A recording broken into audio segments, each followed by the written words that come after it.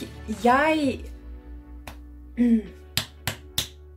Hva skal jeg si her? Det er alltid like vanskelig å finne ut hva jeg skal si.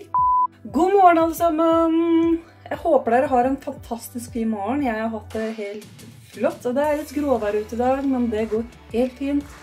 Det skal ikke påvirke humøret mitt i dag, kjenner jeg. Men jeg vil spørre dere om en liten tjeneste. Fordi det er noen av dere som har spurt om jeg kan kjøre en ny Spør meg om ting.